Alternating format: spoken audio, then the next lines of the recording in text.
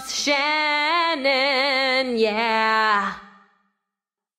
One happy birthday dot com.